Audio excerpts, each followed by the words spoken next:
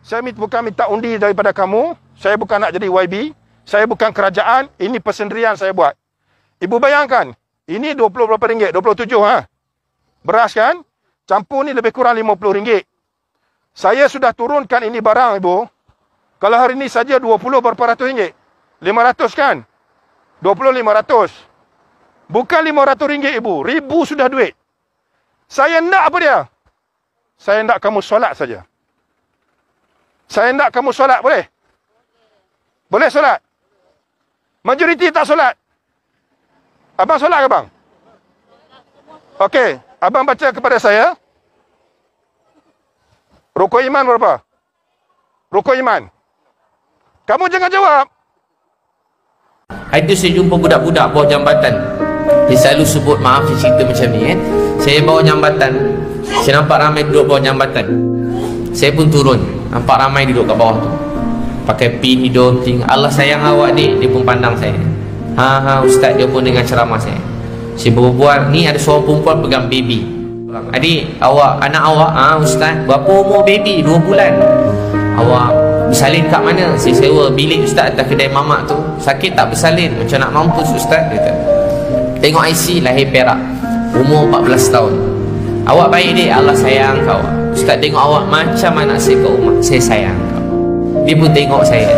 Ustaz mana Tuhan sayang saya? Saya ni jahat Ustaz. Saya selalu berzina. Saya selalu tukar-tukar boyfriend. Orang nak ambil kesempatan kat saya. Saya ni saya jahat Ustaz. Saya tak guna. Saya najis foto Allah marah saya. Tak adalah dia. Allah sayang kat awak. Taklah Ustaz. Saya anak Saya ni budak jahat Ustaz. Anak saya anak-anak haram kan? Saya ni tak guna Mesti masuk neraka. Taklah. Dia sayang kat awak Ustaz jangan tipu saya. Saya masuk neraka kan Ustaz. Saya tak pernah semayang tau Ustaz.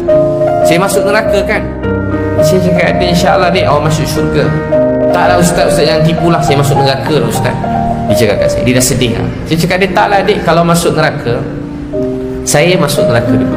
Kenapa ustaz masuk neraka? Ustaz dia jangkut Ke jubah Adik sebab Rumah awak dengan saya Tak sampai setengah jam Saya ceramah ke orang siang malam Bukan main lagi cuci kamar.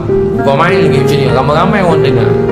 Tapi saya tidur lena kat rumah Awak duduk kat bawah jambatan. Saya boleh pergi ke awak kalau malam-malam ni Naik motor sampai KL ni. Setengah jam saya boleh sampai ni.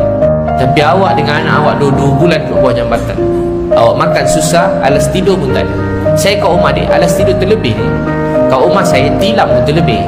Kat rumah saya bilik ada aircon Anak saya tidur lena. Awak duduk kat bawah ni Jadi katakanlah awak yang masuk neraka Mesti saya dulu yang masuk neraka Sebab saya tak datang tolong awak saya minta maaf ni eh, saya lambat jumpa awak. Awak dah 2 bulan tu bawah ni. Saya cakap dia panggil saya abang. Abang saya minta maaf kat awak ni. Tak apalah abang, abang tak salah. Terima kasih tengok saya ya. Tak, saya salah. Saya tak jumpa awak. Adik, awak baik. Allah sayang kat awak.